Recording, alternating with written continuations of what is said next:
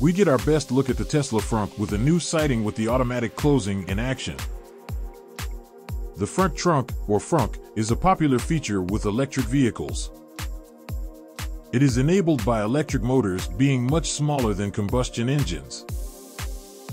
With the advent of electric pickup trucks, some are excited about the possibility of having large front trunks enabling an enclosed cargo area on top of a large open bed in the back.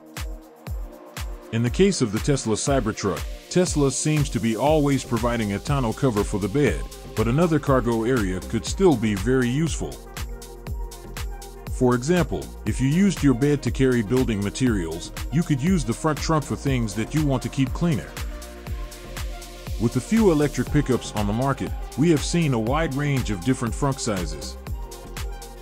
We already have caught glimpses of the Cybertruck's frunks in previous sightings, but now we get our best look at it in action with the powered frunk closing.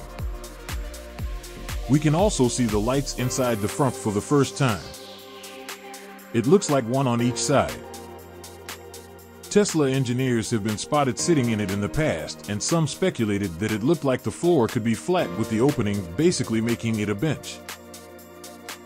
But we now see that there's a bump at the edge. It could still be used as a decent bench for tailgating or frunkgating, I guess.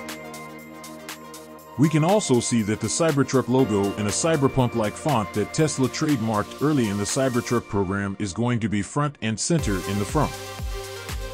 Finally, it looks to be of a decent size. Maybe not as deep as some hope, but it does look like it could fit two large carry-on luggage or even mini a golf bag. What do you think? Let us know in the comment section below.